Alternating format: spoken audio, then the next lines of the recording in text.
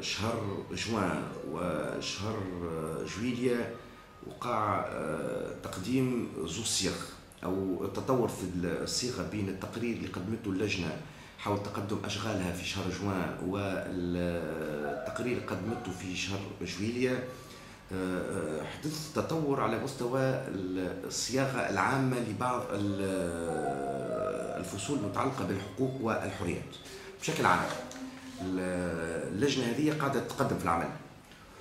وقاعدة آه، تصير في بعض الفصول. ولكن بشكل إجمالي التقييم العام لعمل هذه اللجنة هو أنه آه، جزئيا هناك روح آه، لكتابة باب الحقوق والحريات بروح ربما لا تتناغم مع الحرية.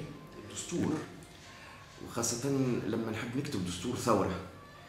ودستور جاء بعد مرحلة طويلة من الاستبداد من القمع من قمع الحريات من الاعتداء على الحريات.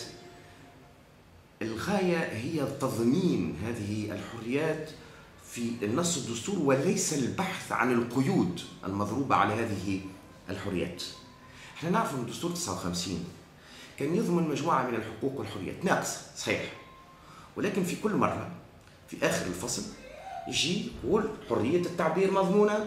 ولكن تمارس حسب ما يضبطه القانون حرية الرأي مضمونة وتمارس حسب ما يضبطه القانون حرية الصحافة مضمونة وتمارس حسب ما يضبطه القانون هل الرجوع دائما إلى القانون مكن على امتداد خمسين سنة؟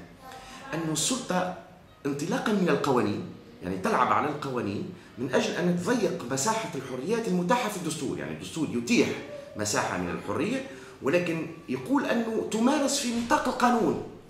وعن طريق سلاح القانون يتم التضييق في مجال الحريات وفي مجال يعني آه، ممارسة هذه الحريات. كنا نقول أن الطريقة هذه غير مجدية. الطريقة هذه فيها اعتداء على الحريات فيها تجاوز للحريات ولكن في نهاية الأمر على الأقل هناك شيء إيجابي في هذا. هو أنه على الأقل نعرف ماذا يوجد في القانون يعني الشخص اللي يحب يمارس الحرية يعرف على شنو قادر يعرف انه ثم ضوابط مضبوطة في القانون. ينجم يكون القانون مخالف للحرية. ينجم يكون القانون معادي للحرية. ينجم يكون القانون غير ديمقراطي. ولكن على الأقل مسبقا نعرف ماذا يوجد في القانون. اليوم في لجنة الحقوق والحريات هناك بعض الحقوق والحريات اللي تم تقييدها بمفاهيم غير دقيقة بمفاهيم غامضة. نأخذ على سبيل المثال الحرية التعبير. حرية التعبير حرية الإعلام وحرية الإبداع. في آه، آه، التقرير المتعلق بتقدم أشغال لجنة الحقوق والحريات جاء في مقترح الفصل 14 أنه حرية التعبير وحرية الإعلام وحرية الإبداع تمارس مضمونة وتمارس في حدود احترام النظام العام والأخلاق الحميدة. ما نغانا مش, مش مفهوم الأخلاق الحميدة. شو معناه النظام العام؟ أين يبتدأ النظام العام وأين ينتهي؟ أين تبتدأ الأخلاق الحميدة وأين تنتهي؟ هذه مفاهيم فضفاضة مفاهيم واسعة مفاهيم قابلة للتأويل في هذا الاتجاه كما في الاتجاه الآخر. ما آه، مفهوم الأخلاق الحميدة يختلف من شخص إلى شخص من منطقة إلى منطقة من بلاد إلى بلاد. كل بلاد ورطانه من من زمن إلى زمن. وهذه مفاهيم لا يمكن تضمينها في الدستور لانها ستبقى سلاح وسيف مسلط على رقاب المواطنين لا نعرف ما هي حدود هذه الحريات وخاصة إذا كان يتعلق الأمر بحرية الإبداع أو بحرية التعبير هذه مسائل يعني غير قابلة أو حتى حرية الإعلام هذه مسائل غير قابلة للتحديد بمفاهيم فضفاضة ومفاهيم واسعة. على الأقل مفهوم القانون لما يقول لنا الدستور حسب ما يمارس حسب ما يثبته القانون على الأقل مفهوم القانون أكثر وضوح من مفهوم الأخلاق الحميدة أو من مفهوم النظام العام. لما نشوف في الفصل المتعلق بحرية المعتقد حرية المعتقد مع مضمونة مع تجريم الاعتداء على المقدسات في صيغة أولى ثم مع احترام المقدسات في صيغة ثانية زوز اقتراحات فهم. هذا زاد نفس الشيء لأنه المقدسات ماذا تعني المقدسات؟ أين تبتدأ المقدسات؟ أين تنتهي المقدسات؟ من سيحدد ما هو مقدس وما هو غير مقدس؟ شكون مش يقول لنا هذا مقدس؟ مقدس برشا ولا مقدس مقدس شوية؟ وهل أنه فما اعتداء يعني على المقدسات أو لا؟ هذه مفاهيم غير قابلة للتحديد ثم ماذا يعني دستور يجرم؟ يجرم الاعتداء على المقدسات لم نرى في في العالم دستور يجرم الدستور هو مجلة جزائية ولا مجلة آه، جنائية باش تجرم آه، دستور يضبط الحريات يضمن الحريات ويطلق باب الحريات. وهناك مواطن أخرى المجلات القانونية والمجلة الجزائية هي التي تتولى تحديد آه، الضوابط وتجريم ما يعتبره المجتمع جريمة. هذه في الحقيقة مش موجود. في حتى دستور في العالم هذه بدعة وكل بدعة ضلالة وكل ضلالة في النار. آه، آه، لأن تفرغ في حقيقة الأمر مبدأ حرية المعتقد من كل المحتويات.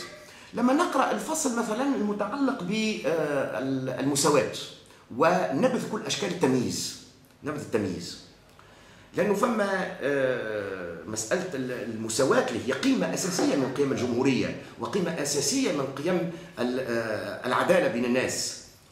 لما نقولوا عدم التمييز على أساس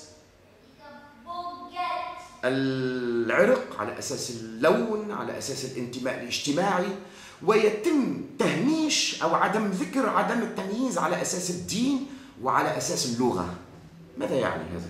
يعني أن مش نخلق مواطنة بدرجتين أنه يمكن التمييز الدستور لا يمنع التمييز أو لا يحول دون التمييز على أساس الدين أو على أساس اللغة. يعني مش نخلق مواطنة ب آه، آه، مكيالين. بمكيالين. آه، ويمكن التمييز على أساس اعتبارات دينية واعتبارات لغوية يعني التونسيين الذين لا معناها ما همش معتنقين مثلا الإسلام لأن هناك تونسيين من طوائف آه، أخرى ومن أديان أخرى وينتمون ويعتقدون لهم قناعات أخرى واعتقادات دينية مختلفة هل لهم كل حقوق المواطنة أم لا؟ آه، لما نقرأ في آه، نفس الباب في مستوى الحق في الحياة لما يقول الحق في الحياة مقدس وأنه يحدث استثناءات بمقتضى القانون وبمقتضى الأحكام القضائية يعني أنه يمكن استثناء حق الحياة عندما نتحدث على أحكام قضائية نهائية صادرة عن آه، عن محاكم وفي محاكمات عادلة، ماذا يعني هذا؟ يعني أنه من الناحية القانونية هو قبول باستثناء عقوبة الإعدام. يعني انه الحق في الحياة مضمون ولكن الدستور يقبل بعقوبة الإعدام. في الحقيقة هو المجتمع المدني لما مشى المجلس التأسيسي وتحاوروا مع أعضاء المجلس التأسيسي كان الطلب هو في إلغاء عقوبة الإعدام في الدستور ولكن ما رانا إلا أنه المجلس الوطني التأسيسي لم آه، ليس فقط أنه ما خذاش بعين الاعتبار اقتراح إلغاء عقوبة الإعدام وهذا حقه وليس فقط لازم الصمت بخصوص هذه العقوبة وإنما ارتقى بعقوبة الإعدام إلى مستوى الدستور. يعني دستر عقوبة الإعدام في مكان أو في محل دسترت إلغاء عقوبة الإعدام. وهذا ليس فقط آه، مخالف لروح الدستور ومخالف لما يمكن أن نجده في الدساتير وإنما فيه آه، آه، فيه اعتداء على حقوق الأجيال القادمة. ربما الجيل القادم أو الذي سيليه يقرر في تونس أن يلغي عقوبة الإعدام من القانون من المجلة الجزائية. ولكن سيعترضه حاجز كبير يتمثل في الدستور. يصبح الدستور حاجز أمام إلغاء عقوبه الأعدام لأنه إلغاء عقوبه الأعدام في الحالة هذه يتطلب تعديل الدستور. وهذا ما هوش موجود في حتى دستور في العالم حتى دستور في العالم حتى في الدول التي تمارس عقوبة الإعدام. لا نجد في دساتيرها تنصيص على عقوبة الإعدام. اليوم فما نزعة كبيرة في العالم فما آه، توجه آه، آه، كبير نحو إلغاء عقوبة الإعدام. ونحن نعرف على ال 200 دولة الموجودين في العالم 140 دولة إلى حد الآن ألغت عقوبة الإعدام. يعني الأغلبية الساحقة من دول العالم تتجه نحو إلغاء عقوبة الإعدام ألغتها أو هي على طريق إلغائها. ونحن في تونس خلافا لمسار الأمم وخلافا لمسار الشعوب ندستر ولأول مرة في تاريخ الأمم والشعوب عقوبة الإعدام ونضعها في دستور. هذا مخالف لروح الحقوق وروح الحريات. لما نقرأ في نفس الباب بخصوص الحق في الحق في العمل اللي هو أحد مرتكزات الثورة وأحد أهدافها وأحد مطالبها الأساسية دستور الثورة الذي إما لأنه فما نقاش وقع داخل اللجنة هذه إما في الاتجاه نحو عدم ذكر الحق في العمل وعدم التعرض له وعدم تضمينه في الدستور أو تضمينه بصياغ مايعة بصياغ لا ترتب على الدولة التزامات حقيقية وخاصة بصياغ لا تتلائم مع آه، المعايير الدولية. ذكرنا بالصيغة الصيغة المعتمدة هي أن الحق أن العمل الحق من حقوق المواطن وتعمل الدولة أو تبذل الدولة قصارى جهدها من أجل أن تؤمن العمل إلى آخره. يعني أن الدولة في الحالة هذه هي ملزمة ببذل عناية ببذل جهد ولكن هذا الجهد غير قابل للتقدير. آه، يعني في نهاية الأمر ما هوش التزام قانوني ما هوش التزام يخلف آثار قانونية ويرتب آثار قانونية لأنه في نهاية الأمر الدولة تنجم تقول بصيغة أو بأخرى أنا بذلت كل جهودي ولكن هذا هو الواقع الاقتصادي هذا هو واقع آه، آه، السوق سوق سوق الشغل في تونس هذا هو واقع الاستثمار في تونس ولا أستطيع أن أفعل أكثر مما افعله يعني المسألة مرتبطة برغبة الدولة وإرادتها في بذل هالعناية هذه في بذل هالجهد من أجل توفير الشغل. من عدمه. يعني ما فماش التزام قانوني والتزام دستوري في حين أن الصيغ المعتمدة على مستوى المعايير الدولية تقوم على الآتي. هو أن الحق في العمل هو أو الحق في الشغل هو حق من حقوق المواطن في حدود موارد الدولة. هذه الصيغة اللي تم اعتمادها عادة في المنظمات الدولية وفي العهود الدولية في حدود الموارد. يعني أن مش نخلق ريفيرنسيال في الدستور تستطيع فيه بمقتضى المحاكم الدستورية المحكمة الدستورية أن تقيم بالرجوع إلى قوانين الميزانية بالرجوع إلى الموارد ماذا تم من ماذا آه، آه، قامت بماذا قامت الدولة من جهد على أساس مواردها بالرجوع إلى موارد الدولة لتضمين أو لتأمين حق آه، الشغل للمواطنين. هذه مثلا لما نقرأ في خصوص حق المواطن في الوصول إلى المعلومة. اللي هو حق من الحقوق الأساسية سواء كان للمو... يعني لرجال الإعلام الوصول إلى المعلومة أو حتى للمواطنين يعني حق من حقوق المواطنين. ويقيد هذا الحق بمفهوم الأمن العام. يعني لما لا يتعارض هذا الأمر مع الأمن العام.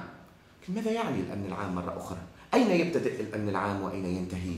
هذه مفاهيم لا يمكن ضبطها ووضعها في الدستور يعني في نهاية الأمر الدستور باقي أو باب الحريات باقي قاعد يتصاغ بشكل أو بروح آه، تبحث أكثر عن التقييد منها عن ضمان الحريات يعني في نفس الفصل تلقى ضمان الحرية وسلسلة من القيود المضروبة على هذه الحرية. ربما في بعض الأحيان هذه القيود ضرورية. ربما في بعض الأحيان هذه القيود مقبولة. ربما في بعض الأحيان هذه القيود حقيقية. ولكن موقعها وموطنها ليس الدستور. موقعها وموطنها هو أما التشريع القوانين هي اللي تقيد الحريات وتضبط وتنظم طريقة ممارسة الحريات في إطار منظومة ديمقراطية. موقعها هو في الممارسة السياسية وفي الممارسة المجتمعية. المجتمع تدريجيا عبر الممارسة نتاعو هو اللي يضع قيود اجتماعية لممارسة الحرية حتى لا يتم حتى لا يتم الاعتداء على حرية الآخرين تحت شعار ممارسة الحرية. ثم في نهاية الأمر هناك معيار أساسي. لتقييد الحرية وكان يمكن للجنة الحقوق والحريات الاكتفاء به. هو أن الحرية هي الاصل وأن الحرية هي المبدأ وأنه لا يمكن تقييد الحرية إلا في حدود مبدأ التناسب ومبدأ الضرورة. Le principe de la nécessité et le principe de la proportionnalité. نحن كرجال قانون نفهم المعنى نتاع يعني آه، لأن هذه مش مفاهيم فضفاضة. معنى التناسب ومعنى الضرورة هي مفاهيم فقه قضائية هي مفاهيم وهي معايير دولية وكرجال قانون نفهم بالضبط ماذا يعني ذلك. شنو معناه؟ معناها أنه ماهوش مجال في كل فصل نقول الحرية مضمونة وهي القيود نتاعها، الحرية مضمونة وهي القيود نتاعها، ونبدأ نعمل قائمة طويلة وعريضة من القيود المضروبة على الحريات. في فصل واحد في بداية باب الحقوق والحريات لما نعلن عن مبدأ الحرية. نقول بأن الحرية هي الأصل الحرية هي المبدأ. ويمكن تقييد الحرية في نطاق مبدأ التناسب ومبدأ الضرورة. ولا نحتاج فيما بعد للعودة في كل فصل لتقييد الحريات ماذا يعني مبدأ التناسب ومبدأ الضرورة؟ أنه لا يمكن أن نقيد الحرية إلا إلا إذا كان ذلك ضروريا لحماية حقوق الآخرين وبالتناسب مع المخاطر. يعني لا يمكن تقييد الحريات يعني آه، حرية والذهاب إلى أقصى التقييد في حين أن المخاطر في آه، آه، الاعتداء على حرية الآخرين أو في تقييد حرية الآخرين هي مخاطر محدودة. يكون هناك تناسب بين عملية التقييد والمخاطر المترتبة عن ذلك، سواء تعلق الأمر بأخلاق حميدة أو بنظام عام أو بمقدسات أو بأمن عام أو بصحة أو بأخلاق أو كل ما تريد مهما كان الموضوع التحديد مهما كان السبب سبب التقييد فإنه مرتبط بمعيار واحد هو معيار التناسب ومعيار الضرورة. لو كان اكتفت اللجنة في الفصل الأول من باب الحقوق والحريات بأن تقول أن الحرية هي المبدأ وهي الأصل ولا يمكن تقييد الحرية إلا في نطاق مبدأ الضرورة والتناسب نقطة تنتهي ثم تضمن الحريات في باقي الباب ولا تعود إلى مسألة التقييدات. لأن عندنا معيار التقييد موجود في فصل واحد والقانون يستطيع فيما بعد أن يقيد على ضوء هذا الفصل الأول من باب الحقوق والحريات أه، لابد أن نقول أنه أه، عدد كبير من الفصول أيضا موجودة في باب الحقوق والحريات أه، وخاصة في الصيغة الثانية. الصيغة اللي خرجت في بداية شهر جويلية. هناك تقدم كبير هناك فصول أو حقوق تم تضمينها بشكل جيد. وصياغتها بشكل جيد ونلاحظوا في عمل اللجان أو لجنة الحقوق والحريات بالتحديد يعني جهد كبير قاعدين يقوموا فيه يقوموا به بعض النواب وبعض اعضاء هذه اللجان من أجل تطوير منظومة حقوق الإنسان، من أجل تطوير منظومة الحريات، ونلاحظوا هذايا من خلال الاقتراحات والاقتراحات المضادة. ومن خلال التصويت أيضا. فما باش نقولوا ما نكونوا نزيهين أنه فما مجموعة داخل لجنة الحقوق والحريات آه، آه، رغبتها الأكبر هي في تقييد الحرية وليس في ضمانها لكن فما مجموعة أخرى متجهة في اتجاه مختلف وهو تضمين الحريات وحماية الحريات وتأمين الحريات أكثر من تقييدها. هذايا علاش لابد أنه اليوم ندعم عمل النواب داخل لجنة الحقوق والحريات وخاصة النواب اللي قاعدين يسعوا بجهد كبير من أجل أن يكون عندنا باب للحقوق والحريات يرتقي إلى مستوى طموحات الشعب التونسي، يرتقي إلى مستوى طموحات المجتمع المدني ويرتقي أيضا إلى مستوى الثورة، يعني هناك الإيجابي وهناك السلبي، ولابد أن ندعم ما هو إيجابي داخل عمل لجنة الحقوق والحريات أن نقلص من كل ما هو سلبي. أعتقد أن المبدأ في كل هذا هو لما نكتب الحقوق باب الحقوق والحريات ما يلزمناش نخافوا من الحرية. اللي يكتب باب الحقوق والحريات ما يلزموش يخاف من الحرية. الحرية لازم يبحث عليها وليس يخشاها. إذا خشينا الحرية وبدينا دخلنا في منطق الخشية والخوف من الحرية وربما يعني لي ديبوردمون تنجم تصير. آه وكي يصير هكا. لازمنا وقتها خرجنا من فلسفة الحرية من ثقافة حقوق الإنسان ودخلنا في ثقافة السلطة في ثقافة آه، يعني الهيمنة وفي ثقافة محاولة يعني آه، تقييد حقوق الإنسان والحريات. لكن نثمن ما يحدث داخل لجنة حقوق الإنسان وخاصة عمل النواب يدافعوا على الحرية ونريد أن آه، أن يكون لدينا باب للحقوق والحريات يرتقي إلى مستوى انتظارات.